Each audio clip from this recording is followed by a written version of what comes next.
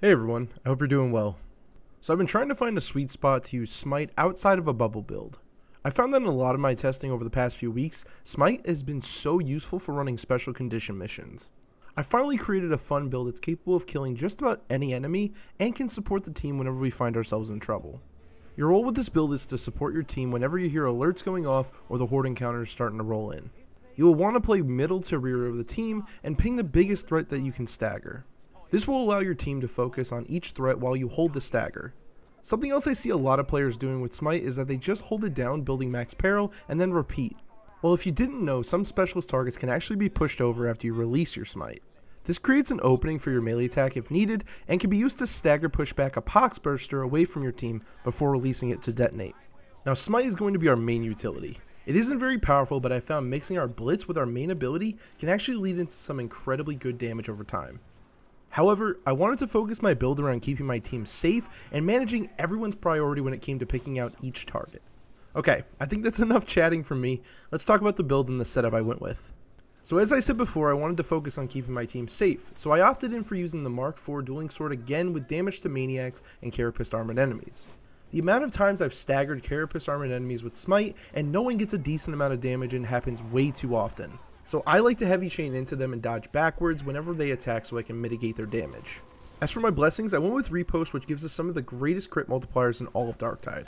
Crit chance on heavy chain hits can rip apart most enemies in just a couple hits. And lately, with how my veteran was handling enemies with ease when applying rending, I chose Uncanny Strike for the stacks of rending that I can apply whenever I hit an enemy weak spot. Heavy chaining about 2 hits into any Carapace armored enemy after horde clearing should be enough to put them down pretty quickly. If you don't have an option for Uncanny Strike, you can also go for Shred. This mixed with our already good crit chance because of Riposte can actually increase our crit chance even further. Testing between both of those blessings, I found them both to be very useful. And since I already had it, I tried this build out with the Elise 4 Sword as well. I went with the exact same perks along with the exact same blessings, and it performed just as good. So use whatever you value more. Since I've been enjoying the dueling sword speed a little bit more when it comes to horde clearing, I went with that this time. As for my secondary, I'm using the Surge Staff. It has great potential for killing any mid-range targets with ease, and lately I've been enjoying shutting down any maniacs that push out to catch one of my teammates off guard. As you probably can guess, I went with damage to maniacs and crit chance, since I wanted to have a pretty consistent amount of damage when it comes to crit damage. To gain that damage, I wanted specific blessings on this one, so I went with Warp Nexus for the consistency of our damage output since we're going to be usually at high peril for this build. As for the other blessing, I chose Warp Flurry. This allows us to put out quicker attacks, evening out the playing field whenever it comes to taking out any mid-range threat. For my Curios, I went with two Toughness Curios and a Max Health Curio. All with boosts to health and toughness, as well as toughness regen speed and combat ability regen for quick quelling. Here's the talent tree that I went with, and these are the passes that I chose to be the most useful and the most fun for me. Since Smite has no real cooldown, we're going to be using it a lot with this build. Keep in mind though, this is supposed to be working in tandem with your main ability as well but you can use it to get out of really bad positioning and save your teammates from death. For our main ability, I went with Venting Shriek, for the fast quelling of our peril since we actually can push through the cap if we vent just before we reach our limit with Smite. As I said before, this is going to be used alongside Smite, but for it to actually work as intended, we're going to need two other ability modifiers. Becalming Eruption is useful to keep Smite going for much longer after you activate your ability, especially in a Horde encounter. Hitting a wide cone of enemies in front of you will maximize the amount of stacking you can get with this ability. And to make sure that we hit damage alongside with our Blitz, I wanted to use Creeping Flames again, which, if activated at high peril, you can actually capitalize on the high stacks of Soul Blaze while recycling your peril into using Smite for even longer. Since I haven't had a chance to make a build around Smite yet, I wanted to challenge myself to find a different way to use this Blitz besides bubbling. I went with Smite for the staggering effect that I can output on almost every enemy, and also for the Blitz modifier called Enfeeble, which can increase our base damage from all sources by 10%. This mixed with Creeping Flames will make it do a decent amount of damage from us alone, but this gives everyone a solid damage boost with their weapons as well. For my aura, I still find it very useful to have Seer's Presence. Since we're going to be using our Shriek as much as possible with this build, I wanted to get it back as quickly as I could. The Keystone abilities are going to be simplified for this build so we can maximize survivability later on. I went with Empowered Psionics for the 125% damage increase and the 50% faster spread. However, since Smite is used so sparingly, I actually found that we can recycle our points elsewhere. The only other keystone modifier that I really wanted was overpowering souls for the guaranteed chance of a stack of empowered psionics on any elite kill. As for my passives, you might see some ties to my Warpflame Prince build that I actually released a couple weeks ago. Lots of my passives are chosen to keep us directly engaged into the fight, while suppressing any enemies that are pushing into our team's personal space. As I said before though, this is built to constantly work alongside with the aggression of your team. You'll almost always want to play middle or rear of your team as you can ping targets that are the biggest threat to everyone before they get to you. Whenever you're coasting or you see an ally needing help, that's when you break out your physical weapons, slashing and zapping any targets who chose to pick on them instead of you.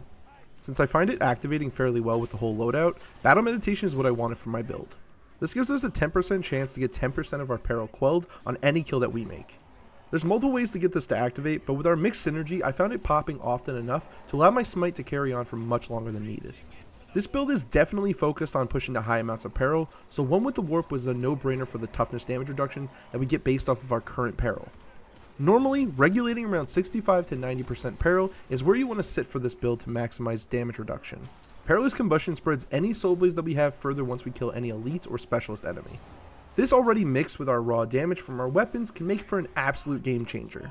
With most smite builds, I find the lack of damage really underwhelming. So feeding damage over time really changed how I felt when it came to being more essential to the team composition. Psykinetics Aura will feed us any necessary ability cooldown we can get when we're grouped up with our team. Within time, you can actually use your Shriek to push out Creeping Flames, then recycle any cooldown from your team to do it again. Puppet Master is also needed if we plan on getting the effects of the aura to spread further to everyone in the party. Keep in mind that this is only applying to Seer's Presence, as this will allow everyone to get a massive cooldown when they activate their abilities. Quietude will actually keep our toughness replenished almost always. Activating our Shriek will give us toughness, but since Smite already has a pretty steady rate of earning peril, quelling it will just recycle all of it into toughness. Smite, Vent, Rinse, Repeat. Solidity is a must-have for quelling Smite fast enough to output more stun locking on anything pushing your team that presents a big enough threat. Soul Stealer is another amazing passive that truly lets the Surge Staff shine especially well with Quietude. Whenever we kill with a warp attack, we immediately replenish 7.5% of our toughness. Pretty much anytime we're down on toughness, we can replenish with these two passives alone.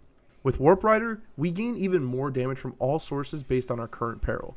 This is where we use our staff for more consistent damage. The crit chance alone will push our damage to a much higher threshold whenever it procs, and as we ramp up our peril, we only become stronger. Just don't forget to quell. And lastly, since I used Wildfire so much with the other build I had previously, I really enjoyed watching it spread after I'd activate Creeping Flames.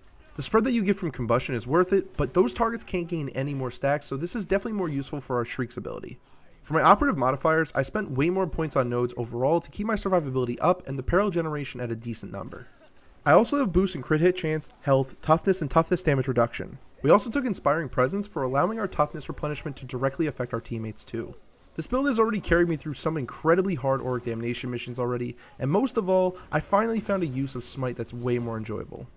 I honestly felt like the Psyker has way too much utilities to focus on, so I wanted to minimize the amount of things I had to manage. Each portion of my loadout actually is focused for something specific. With your melee you can fight any armored enemies in just a few heavy hits. The staff can control any mid-range battle against gunners or maniacs pushing to give someone on your team some trouble. And with Smite, you can stun and stagger most enemies to allow everyone to do the killing for you, all while you recycle the toughness replenishment out to your entire team. You're going to be a beacon of toughness regen for your entire team, so stay close to everyone, ping threats often, and try to keep everyone alive. As you probably saw by now, the beginning of this match was incredibly harsh. We lost two teammates very quickly and had Crushers chasing us, but with Smite, we can control the rate at which they can do anything, so let your team focus the damage while you control their actions. I just want to say a quick thanks for watching and for keeping the positive vibes going in the comments section. A lot of your feedback has been really useful when I create these builds, so please keep it up. Anyways, let me get started on the next build, but in case you forgot, my name is Zen, and I hope to see you again real soon. Enjoy the rest of the match.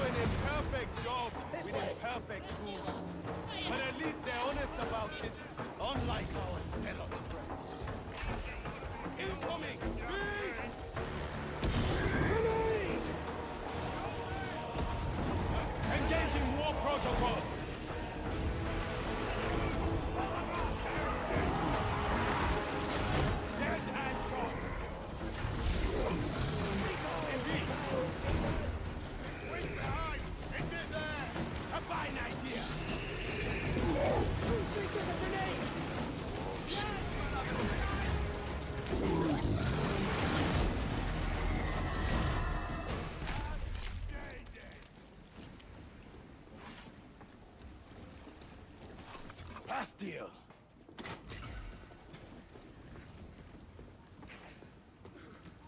Medicae station! Traders Row. Everything for sale, and the Walker cartel took his cut. Ranger! To slave! Excessive force authorized! So be it.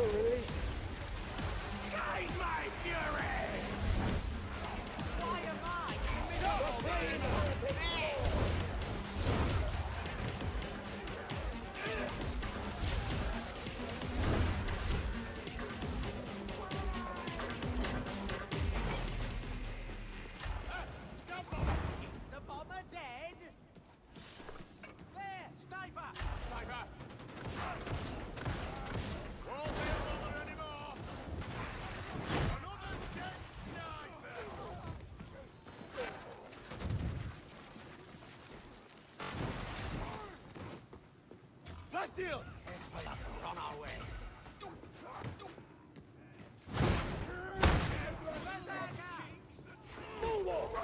It's dead!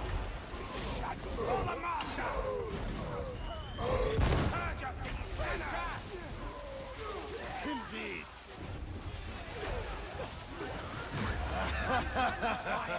That's better! Agreed!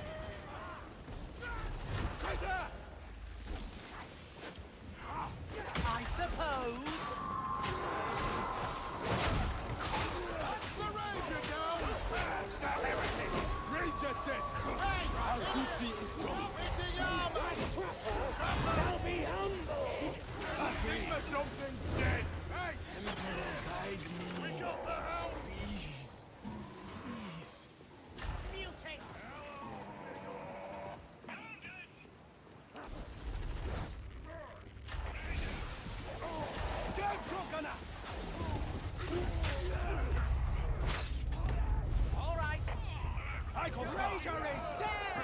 Veterans needed! The big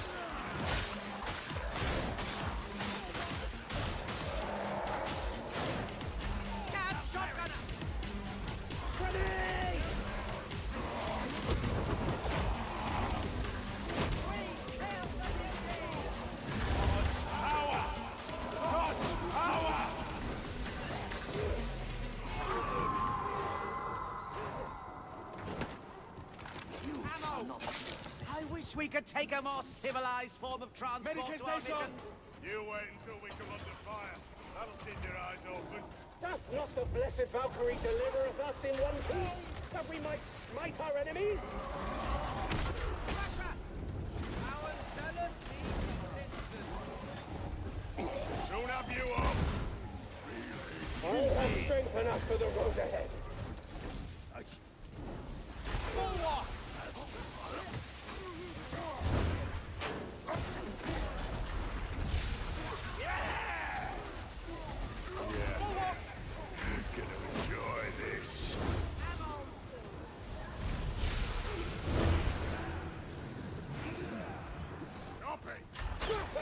Beauty of the city is in its life.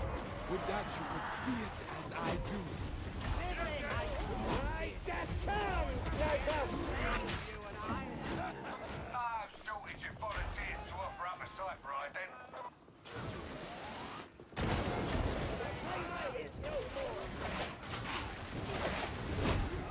Engaging war protocols!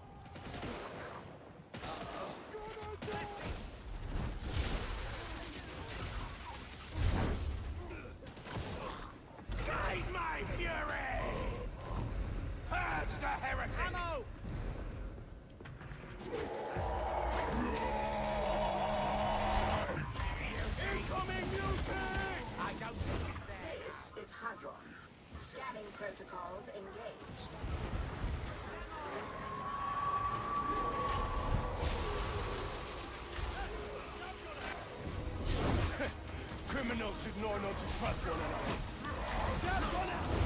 No! Out of my mind!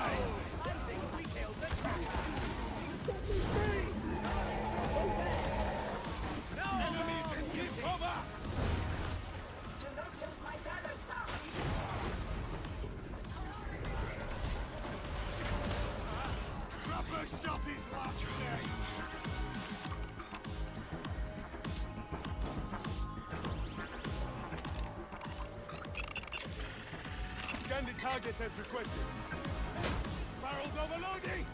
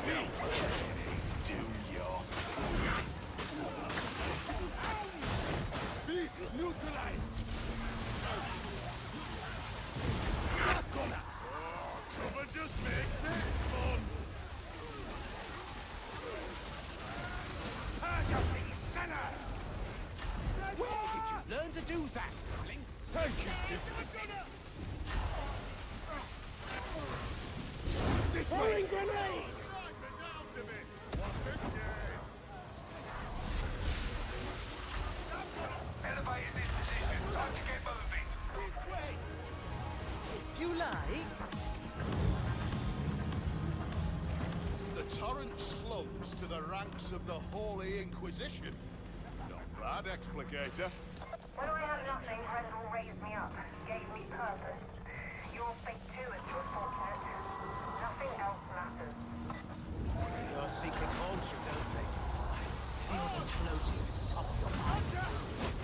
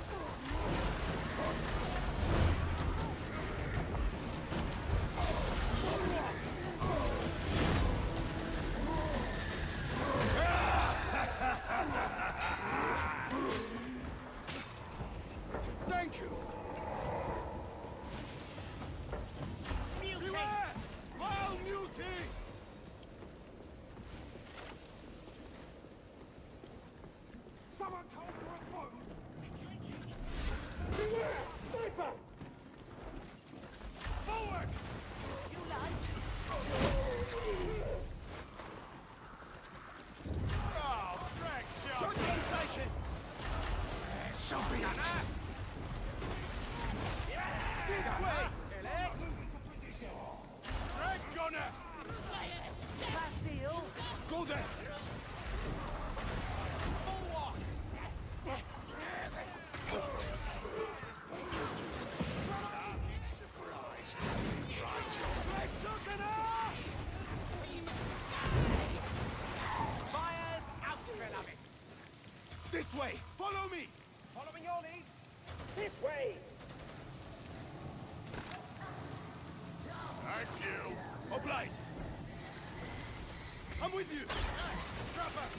Gratifying! A dead trapper! The barrel explodes!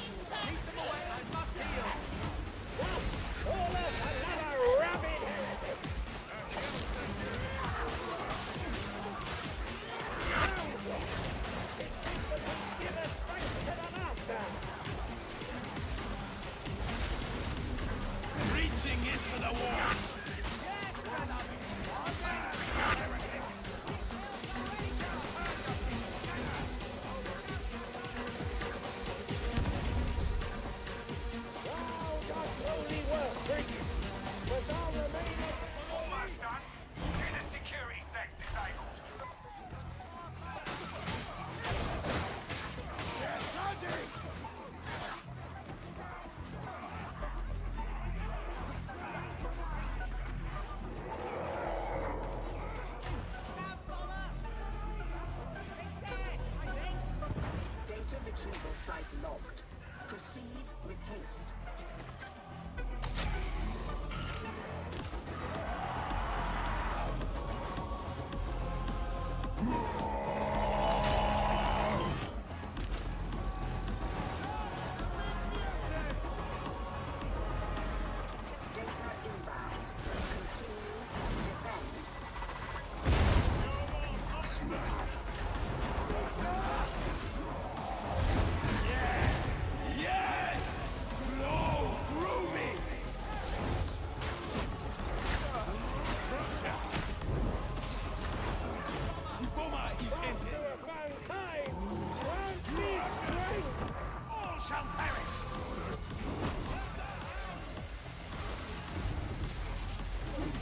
Grenade! Go there!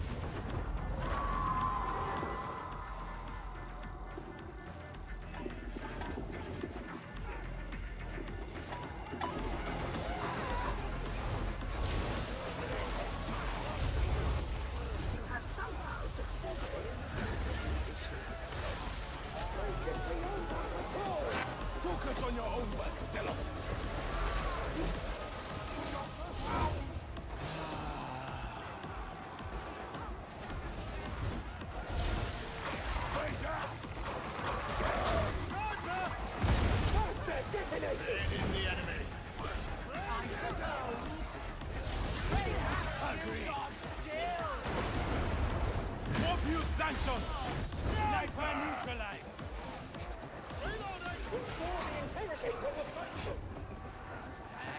This way! Two falls the sniper! Ready, crack down!